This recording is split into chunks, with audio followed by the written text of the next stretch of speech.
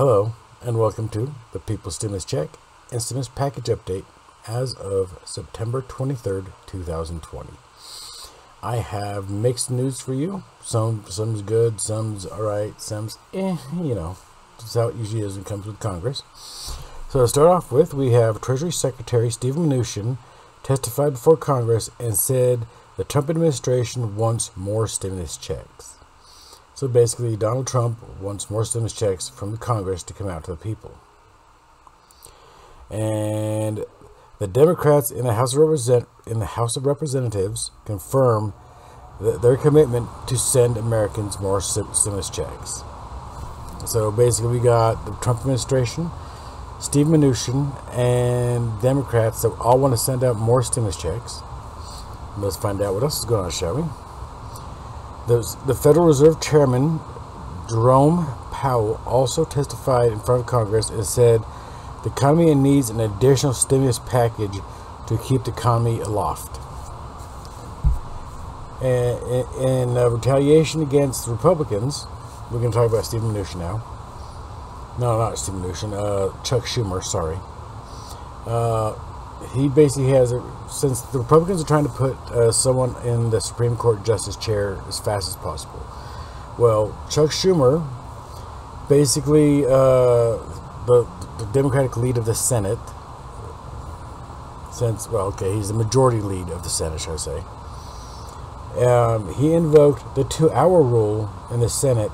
That means after two hours of working per day, they must stop. But there's more. Stick around and I'll tell you exactly what that more is. The politicians have agreed upon the government funding bill. The House passes Bill 359 to 57, and now it moves on to the Senate where they will vote on it.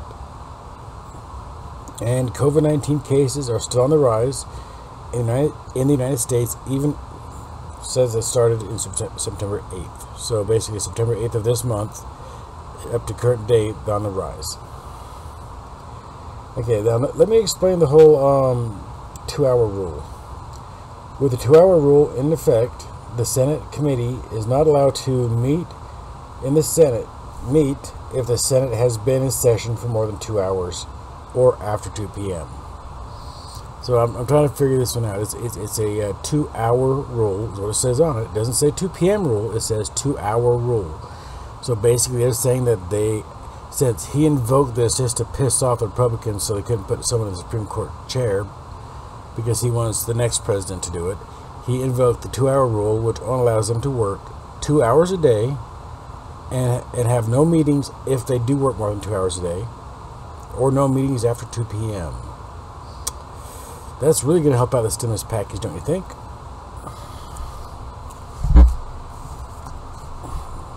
And then Powell said to the Senate, as he testified, that without a second stimulus check and additional stimulus packages, that the economy will suffer.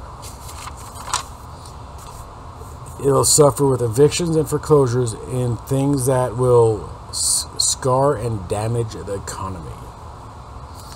So basically, uh, Jerome Powell said to the Congress committee that basically, look, if we don't get more stimulus checks to the people and more stimulus packages out there, that our economy is going to be so, so, so severely damaged and scarred that it's going to be that way for quite a while.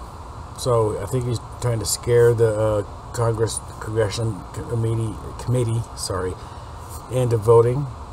Although the Congressional Committee, I think, was only a member of maybe six or eight of the people from Congress and they've all basically enforced him and told him to voice his opinion to the Senate that this is what Donald Trump wants. He wants more stimulus checks for the people, and he needs more stimulus packages for the economy so it will actually start to thrive. We'll see if that happens as well. And the second wave of COVID, the second wave of COVID nineteen is occurring right now in Europe. And what basically means Europe, which I think he said Spain, France, Italy, most of Europe right now is getting a second wave of COVID 19. So their numbers are rising fast. And in, in the United States, we are we have already hit the benchmark of over 200,000 deaths because of COVID 19. And I actually don't want to say about that because I, I don't want to get that crap. That stuff would scare the hell out of me. And I don't think anyone else wants to get it either. In fact, I would not even wish that on my worst enemy. That's just not right. So, uh, for all my viewers and all my subscribers and anyone else who watches this video, please stay safe out there. Wear a mask. Don't listen to those anti-masker morons out there that say, don't wear a mask, you'll be fine. Pay attention to what's going on in the world. The world shows you that COVID-19 kills. It infects you, and, then it, and you might survive, but most likely it's going to kill you. Depending on your demographic, your age demographic, your gender demographic, and other st stuff along those lines as well. You have to actually look that up. Um, but come on, COVID. I'm in that age demographic. I'm almost 50 years old, and I'm basically in the age demographic. So, COVID 19 is not my friend. I wear a mask wherever I go. Well, okay, except for at work. I don't wear a mask there because I do work a minimum of 12 feet or more away from my next coworker, and I work by myself, so that's a plus.